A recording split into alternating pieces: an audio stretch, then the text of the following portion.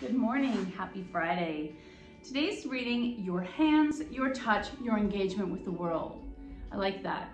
We forget about our interconnectivity with the world. We've been so long indoors.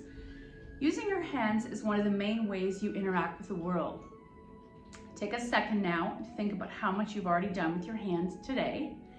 Pushing, pulling, opening, arranging, lifting.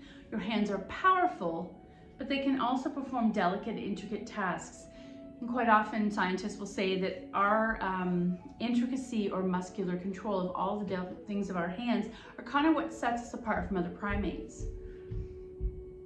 When you touch another person with your hands, the way in which you touch is a form of communication.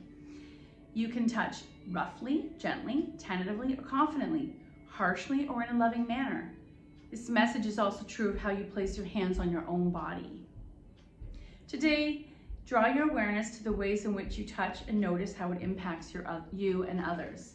So maybe today, without even thinking about it, are you as tender with your own body, mentally and with your hands, as you would be to your grandchild or your best friend or your partner? Um, I thought I would choose an animal card. We haven't done this in a while. And uh, as we approach spring, I'm noticing more and more animals coming out of the woodwork in my everyday walks. Um, even when I'm driving, I notice, of course, there's a lot more skunks out now. Now is when they start to have babies. I'm hearing so many spring birds. They sound happy and hopeful. Oh, and what do I get? Hummingbird, lighten up. So maybe we'll do our bird poses today. For some reason, we draw hummingbird card often in class. And is it the universe telling us to lighten up all the time, whether it's our practice? Have you ever seen images of the laughing Buddha or the laughing Jesus? Well, these spiritual masters and many others knew that life was not to be taken all that seriously. Life is very transitory and fleeting, and although we may interpret life as solemn, usually not that a big deal. Don't take everyday life too seriously. It's meant to be enjoyed. Have a good time. And even with your practice, have a good time. There are, there are tragedies and losses, and it's best to give yourself time and space to grieve them, but release the tears, let them fall away, and eventually let your grief transmute to joyful memories. So I like that. Even if you're going through something dark, can you flip that idea of what's in your brain from sadness, what you're missing, to what you can celebrate? Okay, let's come to the mat. We will do some uh, different bird poses. I love doing this series uh, with my children and when I do kids yoga. So you're gonna bring bum to heels and slowly lower down. Arms by your side, palms turned up. I instantly notice some tension in my lower back, so I'm going to consciously press the lower back down and release. Press it down and release. Press it down and release. And I'm going to bring my knees to chest, rocking side to side, little boat. We want to release any tension in the lower back so that we have movement in the upper and lower halves of our bodies when they connect through our hips and lower back. Let's take our knees to the floor on the left, double leg spinal twist, right arm open to a T. Let the weight of the right shoulder come to the earth so there's a nice opening behind the heart.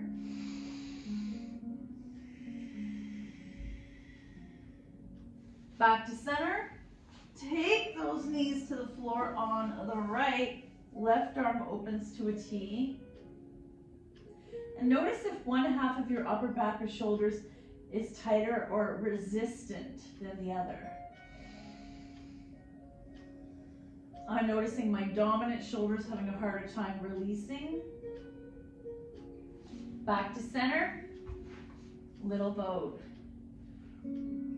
Right leg in, left leg extends all the way down. I'm pulling that right leg in. Left hand takes right knee over, single leg spinal twist.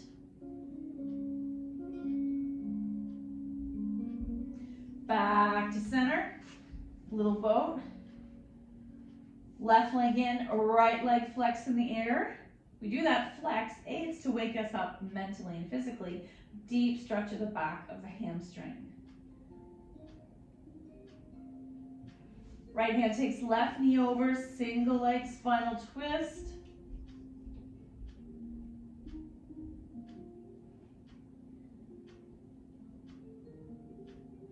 Back to center, little boat.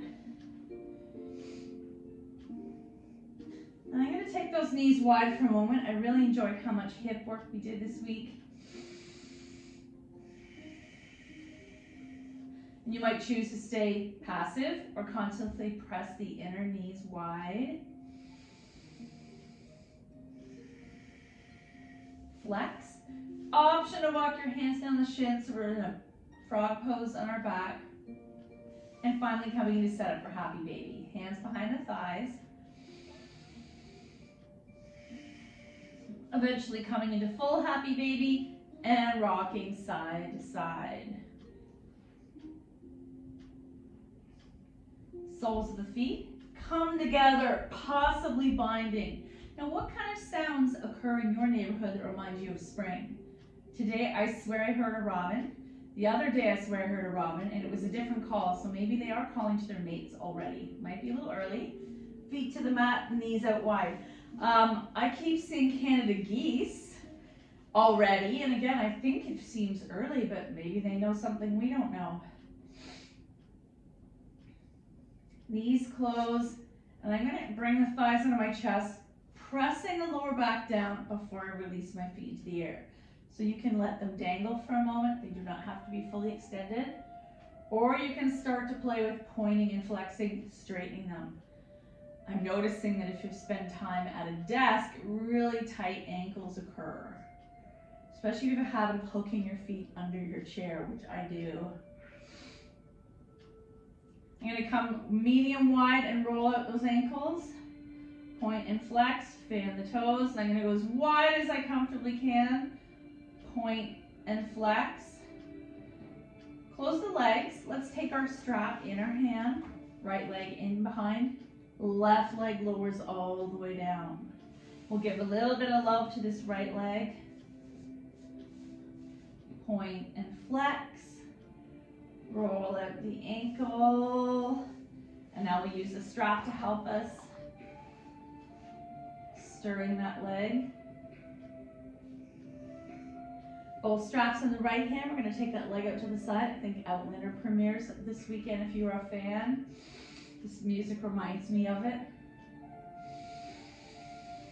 Taking that leg to the sky, strap in the other hand and across the midline or all the way over. Oh, that feels delicious.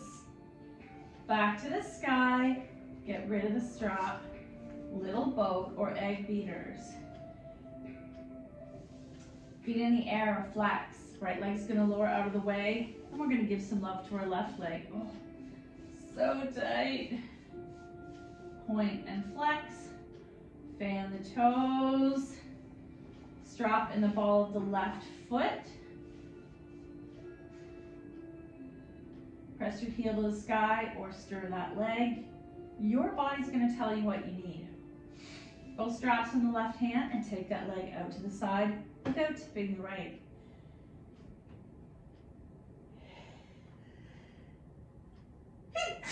Excuse me. And then taking that leg back into the sky, strap in the right hand, across the midline, maybe stop there, or go all the way over to a full spinal twist. Back to the sky, get rid of the strap, little boat, or egg beaters.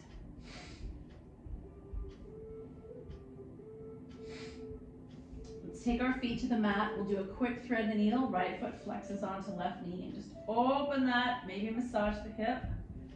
And then bring that left thigh towards you. Oh.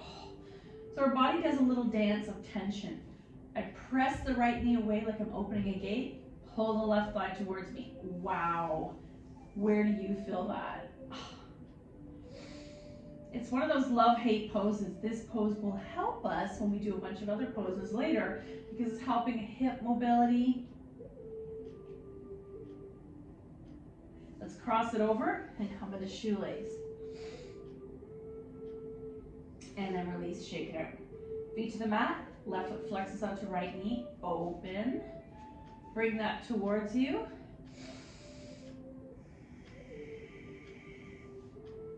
Option to press the left knee away by putting the right knee towards you, and this is definitely my tighter side.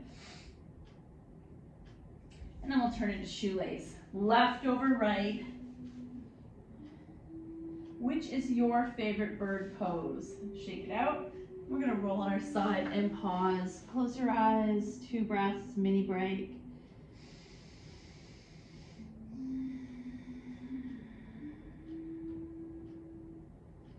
Then slowly press yourself upright. You're gonna choose which form of child's pose suits you today. Let's all tuck our toes and press back, and that adds a nice stretch. Some believe that when you tuck your toes and press back, whether this variation or this variation, you're uh, stimulating the pineal gland in the brain. Not sure all the benefits to it, but it's something that I might just hang out here for a bit. And we haven't done our flowy cat-cow for a while, so I'm going to tuck the toes, press the mat away, maybe come into extended child's pose. That becomes my cow. Chin to chest, cat, pelvis forward, chest between arms, look up, cow. Cat, press back, look forward, cow. Flowing. Let's do five flow throughs at your own pace.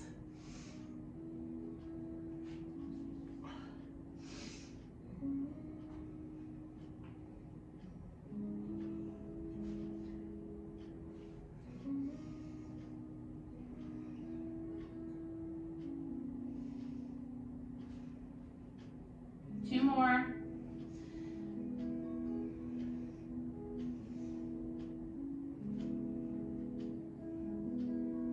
And finally, undo extended child's pose. Coming back to tabletop, we're gonna tuck our toes, walking into a forward fold, let your head really go. Where do you feel this here? Is it more in your upper body or in the backs of your legs? Arms to the side, rise, reach, reach, reach, reach. Exhale, fold, swan dive. Half back, plant, lower all the way down, sleeping cobra. Inhale. Exhale, pick up only your head, chest glued to the floor, elbows pull in. Press back, downward dog. I'm really gonna attempt to bring those heels to the floor. My calves and my hamstrings are pretty tight. Right foot forward, left foot back. You're gonna choose high or low lunge.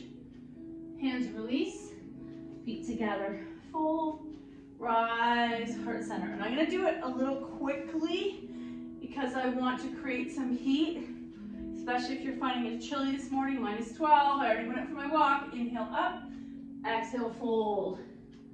Half back, plant, lower all the way down. Inhale, sleeping cobra. Exhale, pick up your chest. Press back downward dog. Option to pedal again. Is one leg tighter than the other? Left foot forward, right foot back. Rise. Hands release. Feet together. Fold. Rise. Heart center. One more on each side. Inhaling up.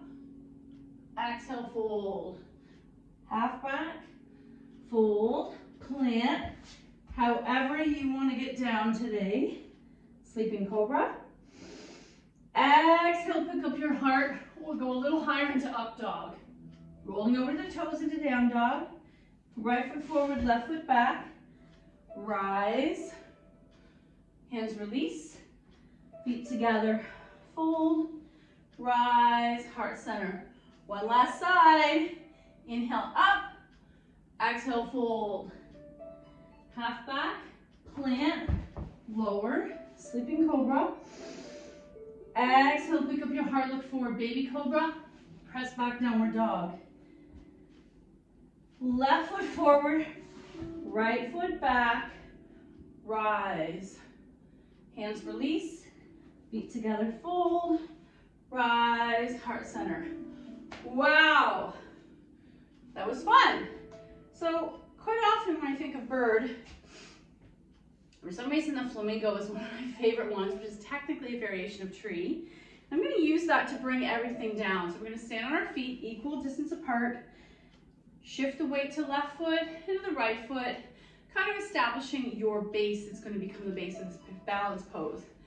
Eventually, left foot becomes my standing foot, and I'm either coming into a mini tree, foot to inner ankle, calf, or flex on the outside, flamingo. We're gonna stay here for five breaths. I kind of sprung this upon you. Inhale one, exhale. If I'm swaying, that's natural, but you wanna root down through all four points of the foot. You wanna engage the glutes to center. Inhale three, exhale, inhale four, flex, flex, engage. Exhale and inhale five, exhale, release. Other side, you might find one side more stable than the other.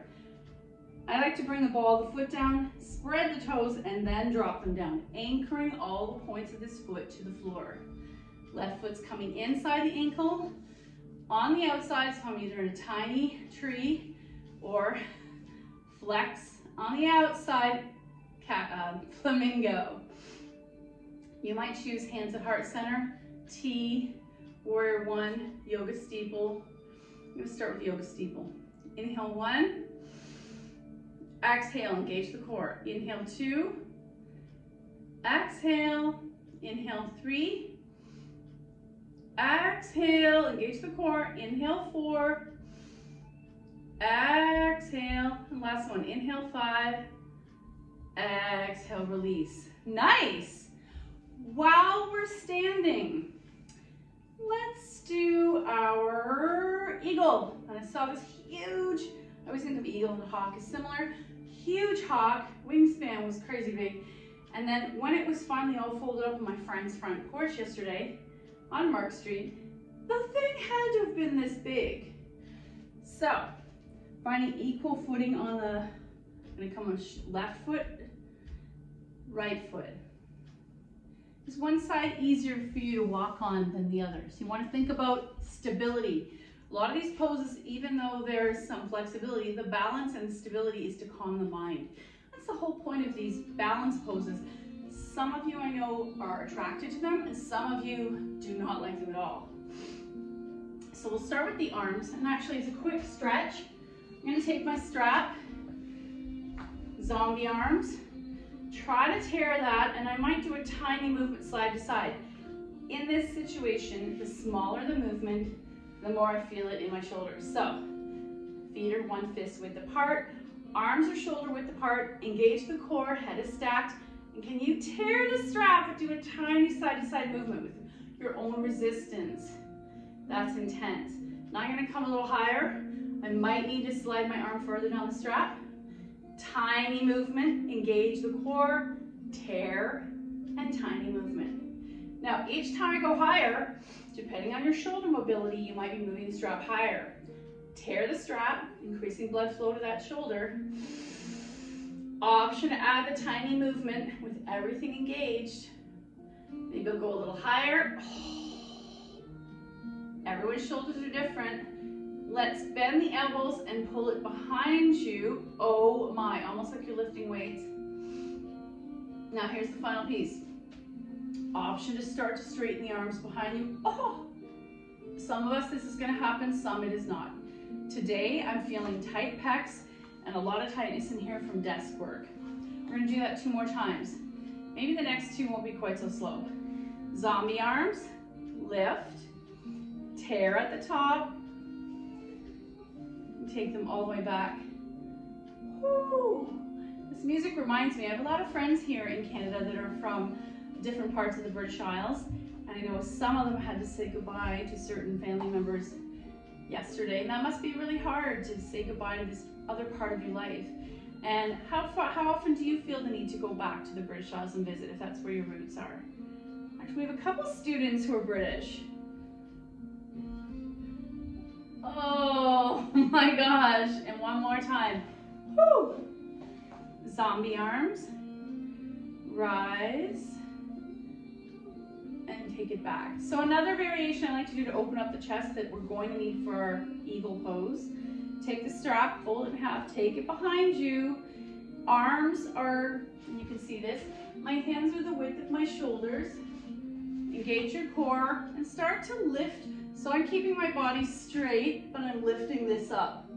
Again, I notice the pec tightness from desk work is inhibiting me from doing this effortlessly. So I might lift it up and down a little. I might bend my knees and let it lift behind me. Oh, I like it better staying upright. Side to side, up and down. Hold, and get rid of that strap. Here we go. Let's do, um, I call them doctor scrub arms, nurse scrub arms, zombie arms, karate chop arms. Right into left, intertwine. If I can't make the bind, I'm going to stretch out one arm, right into left. Option to go up and down a few times, and release. Other side. This is what I'm gonna do if I can't make the bind. Left arm into right, pull it across the midline without turning my torso. And anyone who's on the computer a lot, please tell me you're feeling that. Otherwise, Scrub arms, left into right, make the bind. Option to go up and down a few times. And shake it out. Nice. Okay, let's see what the leg version of this pose is. You all know the drill. Left foot is my standing leg. I always visualize a bird's, especially a heron, where they tend, a flamingo, maybe they're related, they tend to stand on one leg. So left is my standing leg, right leg tap over, or sit down, engage the core, or can you sit and bind? Tuck that foot in there. And I'm to use hands to heart center, Anjali Mudra. Let's take two more breaths here. So you're squeezing the thighs together as you sit down and try not to fall and release. Other side. Right leg is a standing leg, left leg steps over or sit down or this is super tight. can I bind and sit? Hands to heart center, Anjali Mudra. Smile. Three breaths. Inhale one. Exhale. Inhale two. Exhale. Inhale three. Exhale. Release. Here's where the magic happens. We're going to put upper body flexibility in focus, lower body flexibility focus, put them together and make our eagle. Left foot lands, right leg over. I'm not gonna sit yet. Karate chop arms, right into left, bind. Maybe I'm gonna sit further. Here's where I'm falling. And do you know why I'm falling? Uh, mainly because my hips are tight. Option to bind that right foot behind the left calf, staying upright. Some people forward fold. I'm not going to. do Three breaths. Inhale one. Exhale. Inhale two. Exhale and inhale three. Squeeze those thighs together for stability. Exhale, release. Can we bring that stillness to our practice on the other side? Remember, our sides are sisters, not twins. Right leg, standing leg, left leg, step over. Karate chop, left into right. Option to sit a little deeper. Listen to your body. Three breaths. Inhale one. Exhale, inhale two, exhale, inhale three, exhale, release. What's the counter pose for this? I might use my lazy squat or come into my full squat.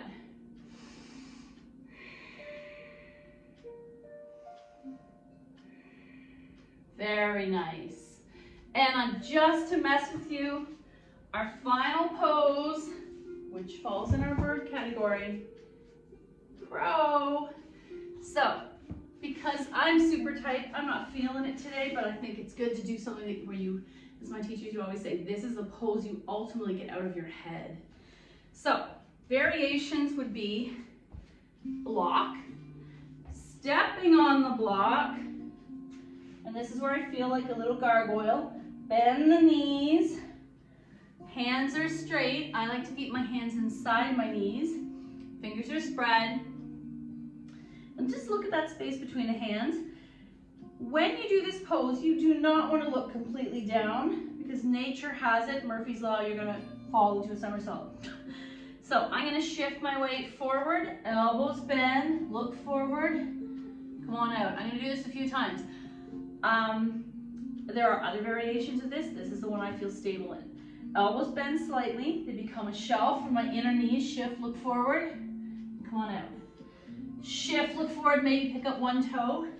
Come on out. And for some reason, I don't love this variation. I'm gonna get rid of the block. Some people say this helps you. You tell me which version you like better. I'm gonna come back into a little squat on my ball of my feet. Hands land. I'm up on the balls of my toes.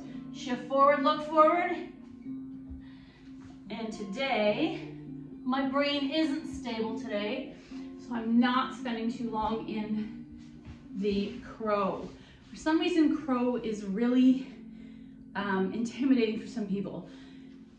A true yoga practice would be, I would tell you to take that pose then, and that be your homework today.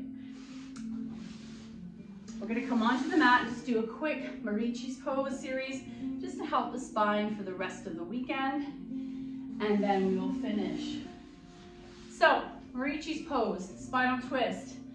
I'm gonna sit with my legs extended in Dandasana.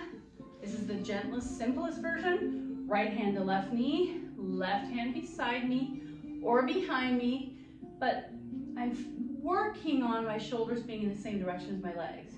So right now my shoulders are perpendicular to my legs. With the spinal twist, without hurting anything, I'm bringing out the body like a towel. So I'm gonna look forward, flex the feet, left shoulder back, and eventually look over that left shoulder. Option to turn and look over the right shoulder if your neck is comfortable, and back to center. Roll out the ankles, let's do the other side. Left hand, right knee, right hand beside me, finally walks it behind me.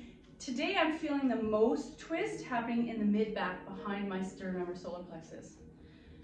Twist, twist, twist, looking forward. Option to look over that left shoulder.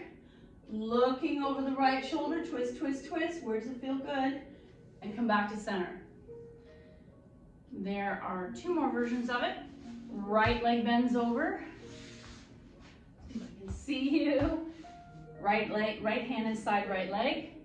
Hand behind me. So I'm either twisting and then I want to add the head. I'm to look over the left shoulder. Back to center, counter twist. Keeping the knee, right knee up and down. I'm either coming into a bind. Oh, no, sorry, a mudra. Twist, twist, twist, looking over the right shoulder. And back to center. Roll out the ankles. One more side. Left leg over right. Let's take left hand inside. Twist counter twist, back to center, shake it out. Our last version, depending on your hips, left leg down, right leg over. Whoa, so tight. So in this situation, my hips being squared off, my sits bones on the mat, more important than getting this right foot to the floor. So I'm gonna put a block under there. Left hand inside right thigh, twist, looking over the right shoulder. Back to center, counter twist. What's amazing about this twist is it happens quite naturally, even when I'm sitting at a desk. Your body does what it needs. Pets, if you watch them, they, they stretch how they need. No one needs to instruct them. Back to center, shake it out. One last side. right leg on the bottom, left leg on the top. Sit so I've got to make sure that the hips are squared up. Can feel my left foot needs this block to support. I'm going to bring right arm inside, twist, counter twist. And I'm probably doing this too quickly. And I want you to take what you need from this class, make it longer, stronger, and more involved in your own um, pace. So today we'll do a wisdom for healing card uh, 50 lessons of personal empowerment. So if you enjoy some of the cards we've been doing, there is a store, is it called Daylin? On the outside of Nature's Emporium, and they may have moved it inside Nature's Emporium because of COVID. Um, there are, um, I like that one, see the synchronicity. There are lots of different boxes online on hayhouse.com, on shambhala.com, and also in that store, crystal shops, health food stores. So today I randomly just pulled this one and I'm always talking about synchronicity. And that's cool. This woman has a, a loom and she's weaving. So I love that visual of everything woven, interconnected together. The strings from one part of your life come wove, weave with another part of your life. Today's lesson, take note of all the synchronistic, synchronistic happenings and coincidences that occur in one day and know that nothing happens by accident. Your goal is to appreciate the divine details that are woven throughout every moment of our life. And I think that the scientific kind of person can say, well, they're just coincidences. But I think life is more magical when we can say there are no coincidences and the universe does have a plan for us. It gives us hope that everything that happens happens for a reason. Thank you so much for your effort, attention, practice. The good in me sees the good in you. Namaste.